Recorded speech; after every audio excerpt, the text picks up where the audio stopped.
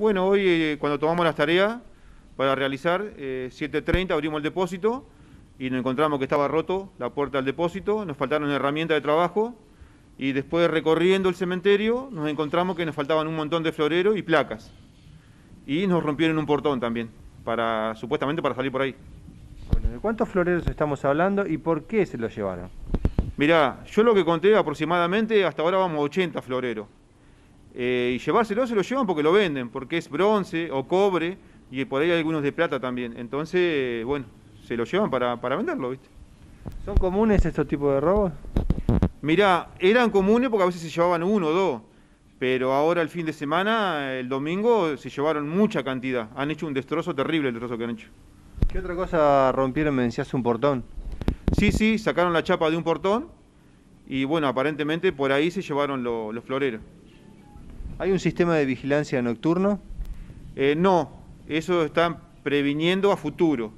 Eh, igual que cámaras, eh, hay un proyecto a futuro, todavía no tenemos nada.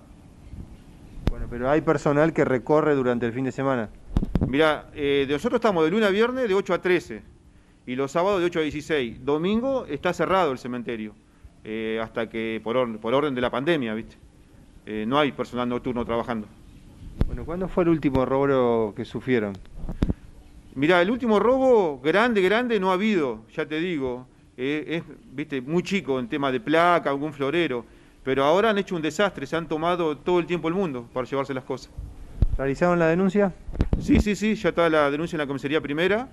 eh, ya vino también Daniel Borra y bueno, y la policía. Eh, ya están al tanto de todo. Bueno, a partir de este robo van a poner seguridad durante el fin de semana. Eh, mirá, eso ya está hablado con Federico Vidal y se iba a comunicar con Julio Ferraro y Ezequiel. Eh, las medidas tienen que tomar ellos. Bueno, ¿qué va a pasar con estos lugares donde faltan los floreros? ¿El municipio va a colocar nuevos? Eh, mirá, vamos a tratar de arreglar todos los reclamos que tenemos, pero te imaginate que son un montón de reclamos. Eh, vamos a tratar de hacer lo que más podamos, ¿no? Con lo que tenemos.